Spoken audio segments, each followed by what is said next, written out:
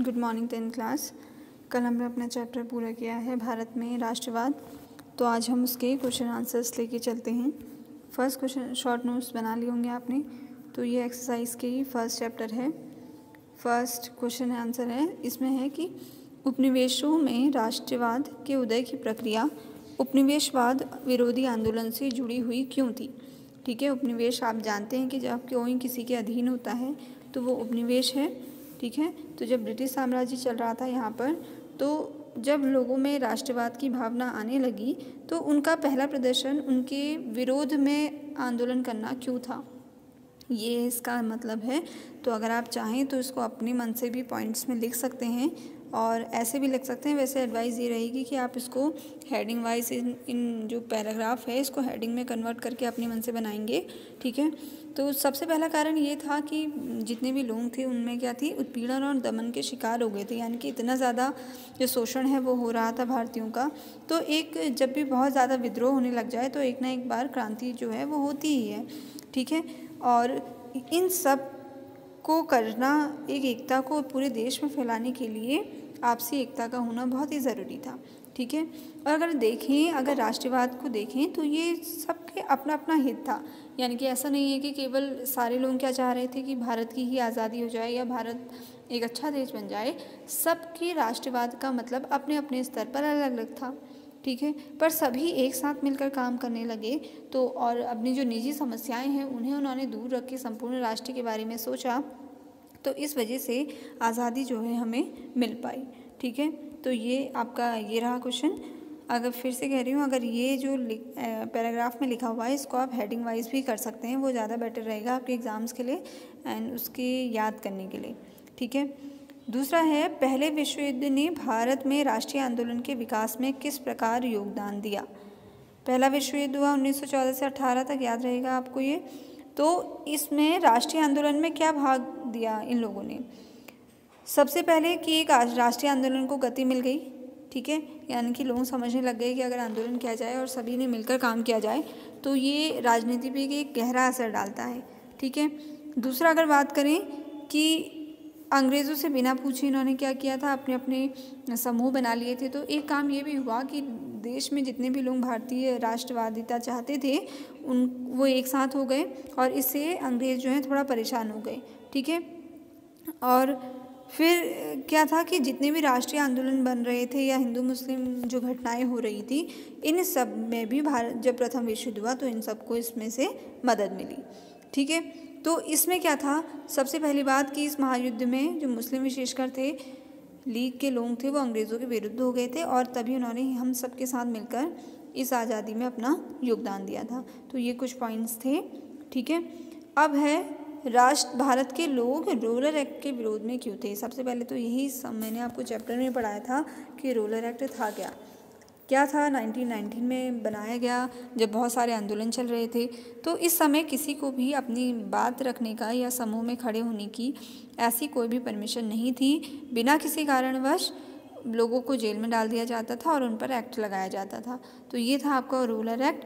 तो क्वेश्चन ये पूछा जा रहा है कि इसके विरोध में क्यों थे भारत के लोग?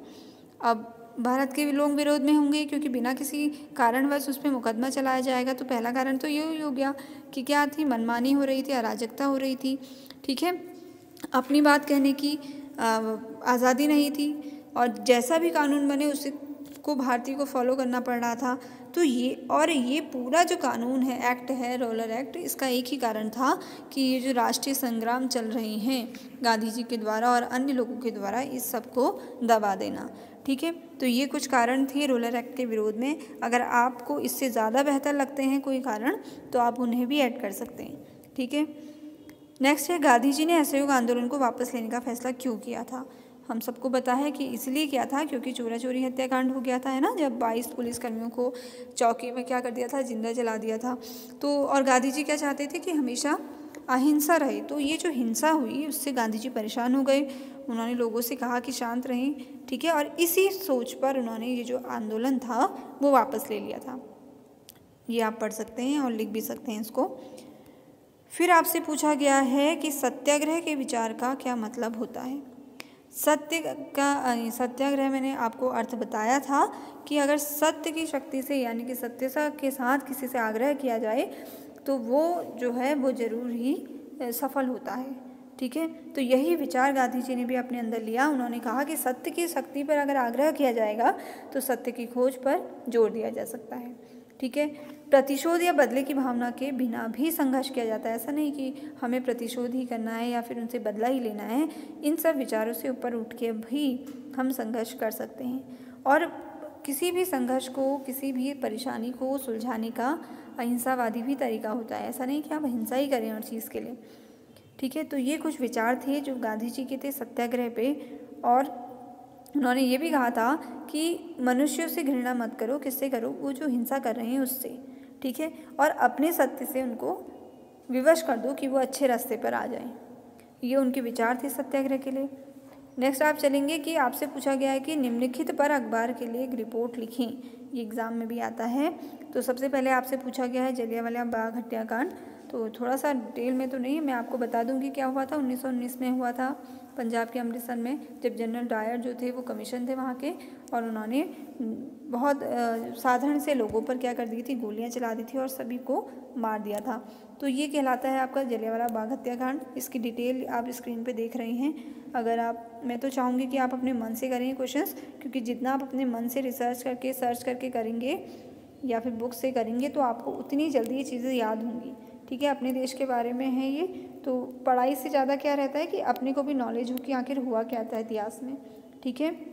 तो इनको आप, ये कुछ चीज़ें ऐसी होती हैं जो हमेशा ध्यान में रहती है कि जलियावाला बाग हत्याकांड हर किसी को पता रहता है है ना? तो ऐसा ना हो कि हम स्टूडेंट हैं, फिर भी हमें नहीं पता है। तो इन चीज़ों को बिल्कुल अच्छे से आप नोट्स भी बना लेंगे और उनको अपने दिमाग में भी हमेशा रखेंगे, ठीक है? अब दूसरी रिपोर्ट आपसे मांगी गई है अखबार के लिए साइमन कमीशन आपको पहले भी बता चुकी हूँ कि साइमन कमीशन क्या था कि जब ये सारे ये जो आंदोलन है वो हो रहे थे, उसके बाद एक कमीशन बनाया गया था और इसमें कोई भी भारतीय नहीं था। ठीक है, साथ के साथ लोग थे और वो सारे क्या थे? अंग्रेज़ थे। ठीक है, ये सारे अंग्रेज़ थे तो उसके बाद भारतीयों को लगा कि हमारी बात रखने का तो कोई व्यक्ति ही नहीं है। तो इसलिए उन्होंने इस चीज़ का विद्रोह किया था। और कमीशन के जो अध्यक्ष थे वो डायर ये थे कमीशन साइमन थे तो इसलिए साइमन जहाँ पे भी जाते तो गो बैक साइमन के नारे लगाए जाते थे ठीक है? इसके अलावा भी ये सारी चीज़ें इसमें हो रही थी ठीक है? इसके बाद आ, भारत माता की छवि के बारे में आपसे पूछा गया है जर्मेनिया से तुलना करनी है उसमें तो स्क्रीन पर आप ये सारी चीज़ें देख सकते हैं आगे